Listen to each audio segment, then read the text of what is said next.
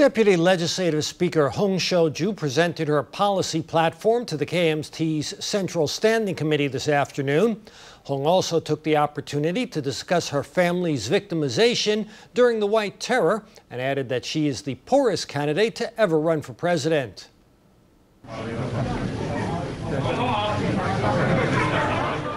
Members of the KMT Central Standing Committee cheered on Hung Hsiu-chu as she appeared for a meeting today.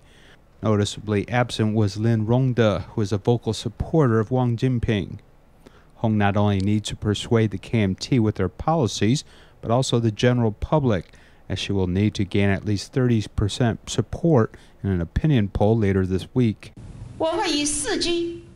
My future policy platform for running the country involves four G's giving people confidence, giving people hope, giving people convenience, and giving people joy.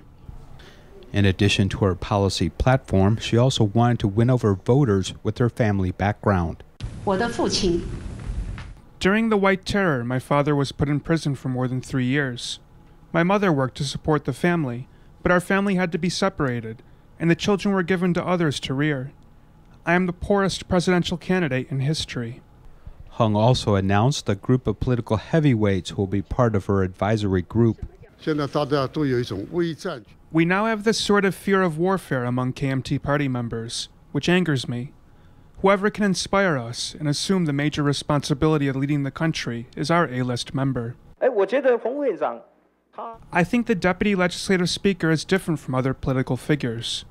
Defending the ROC should not be a partisan issue, which is why I came out to support her today.